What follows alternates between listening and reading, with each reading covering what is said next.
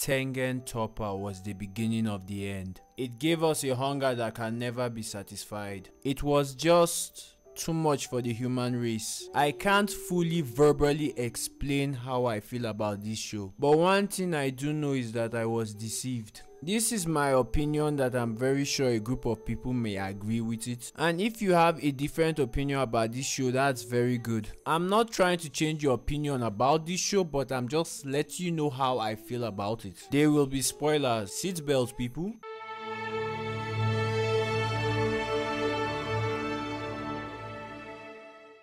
Darling the Franxx is an anime directed by Nishigori Atsushi, who's worked on shows like Evangelion 1.0, The Opening of Your Name, Tengen Toppa and many more. It's storyboard by Imaishi Hiroyuki, who worked on FMA, Hellsing, Kill la Kill, End of Evangelion, Tengen Toppa and many more. It was a mech anime that was the talk of the anime community in 2018. So hey, I'm not going to lie, the show did some things that I actually think were pretty cool. Let's talk about things I like about the show before we talk on why we are here. The fact that I can make a sentence with the words trigger and A-1 in them, it feels so so good. Having two renowned companies collaborate on a project, it's a dream that we never even had and right now we all want to see more collaboration. Having a mech anime in 2018 being actually the talk of the season is a very big accomplishment. No?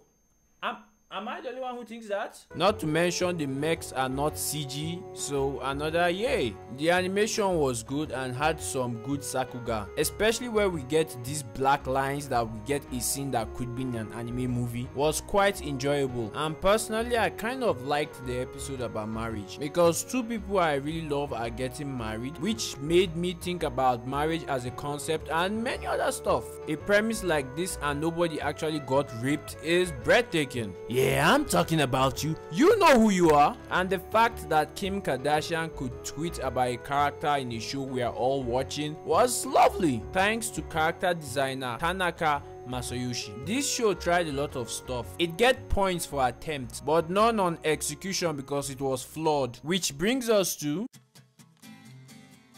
the plot was unnecessarily hopeless, with point A not being able to match or being justified by point B. Dr. Franxx, when he was first introduced, he seemed like a general nice guy, a likable guy. But through the course of the show, we see he's a complete different asshole, which kind of seemed like a completely different person than we met in episode 1. If that wasn't bad enough, we got a version of him before the world went to shit. And he was doing questionable things that made his fellow colleagues scared it's like three different people that their motivation or goals were never really explained. I mean, he was collecting data on these kids why exactly? Because we can't think of any place in the show that him collecting data on these children actually kind of helped. It's very hard for me to see how this clueless guy will send them on a beach to bond. And yes, he is clueless. Because for anyone to believe that the smartest guy in this universe created a system and did not know would need an ability that him himself rendered obsolete. And even if we are going to go with the Franxx are just Klaxosaurus, why did he forget to tell us such a big information when he was telling us his backstory. The excuse for that is that the writers just wanted to make a plot twist. It just ended up being neglectful anime making. I kind of liked the episode with Zorome and the old lady. Is she really an old lady because she kind of had a hot body? They were supposed to get a second episode with some plot twist in it, but all of that got thrown out the window or sucked into space. But something about this show kept me up for hours, approximately 16 hours and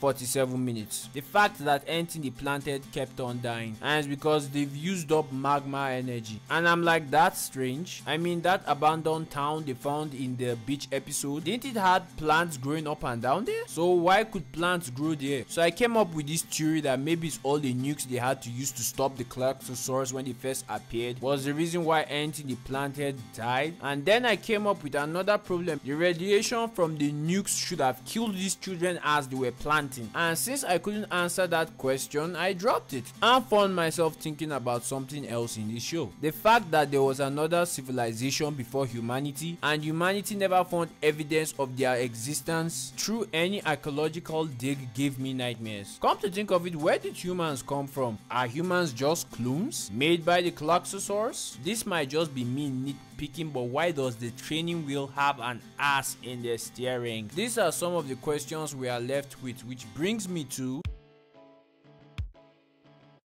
when I first saw the Franxx, I thought it was the second coming of the Star Driver, which should have given me a lot of warning that this show is lacking in originality but I tried to give it a chance and the more I descended into it I saw that I was deceived. The show at first promised it was for all of us, people that have been watching anime for a long time and people that haven't but it was for people who just started watching anime. The mechs, the characters, the events, the plot twist, the villain and the ending was a low blow to vets. If you are going to copy something popular you have to do a good job or you're just going to make people mad. Because of that a lot of aspect of this this show suffered greatly, especially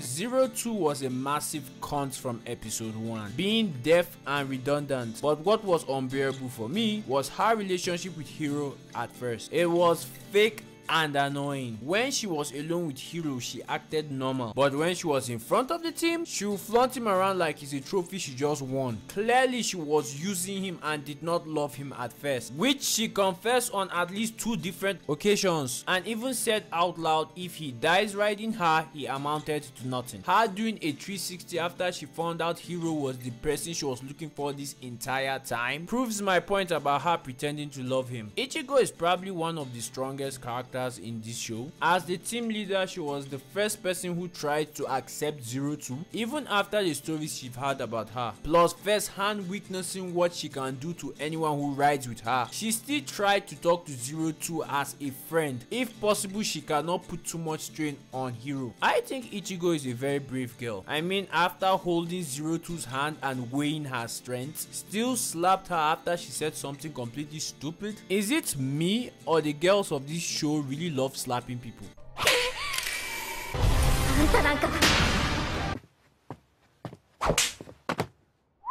Hmm.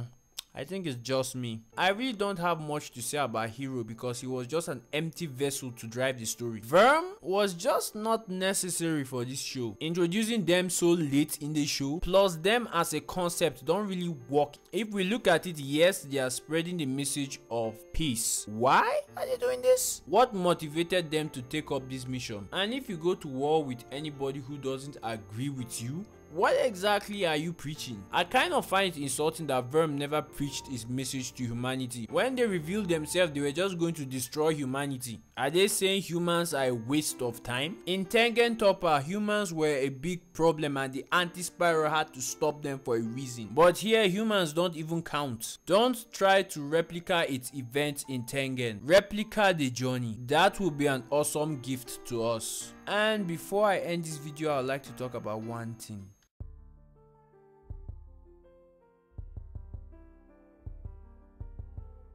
The anime community is one that I'm very proud to be in. It's one that welcomes and cares about newcomers. Finding someone out there who just wants to recommend for you animes to watch is a very beautiful thing. You will always find a group of people who love the same type of anime you love and just want to talk about it. One of the lowest social media platform in my country has a room dedicated for Naruto fans. I really love this committee, but sometimes bullshit comes to this our beloved committee. One of them was the unconditional unconditional love for Zero Two and outright hate for Ichigo. Zero Two is a heartless being that got someone's partner killed, did not feel anything about it and even said out loud it was the person's fault for being weak. Somebody that was killing Hiro and never thought about slowing down for him. All she could even say when she was draining him was is that all you've got? And she even speed up the process by strangling him in his cockpit. Everybody could see her hand marks on his neck. When a character is designed to be hot or cute. The anime community sees no flaws in that character and are so quick to forgive.